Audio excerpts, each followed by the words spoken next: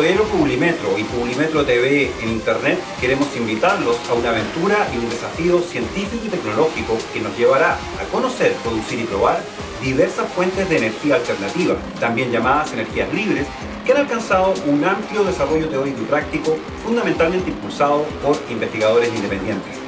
En la mayoría de los casos, se trata de inventos o aparatos desarrollados en casa por diversos investigadores e inventores a nivel mundial, que se encuentran explorando alternativas al uso de combustibles fósiles, electricidad y en general a las fuentes de energía comercial tradicionales. Muchas de estas invenciones no pasan la etapa de experimentación. Algunas terminan siendo elaborados fraudes y otras son simples teorías sin sustento real. Sin embargo, existen unos cuantos casos documentados en etapa de pruebas o en proceso de experimentación que no solo son reales y efectivos, sino que constituyen verdaderas alternativas a la crisis energética global.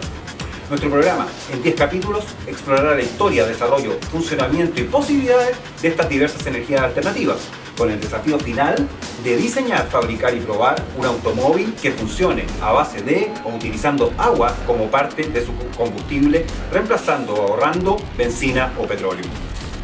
Porque a fin de año me gustaría que mi auto funcione con agua. Bienvenidos a Energía Alterna.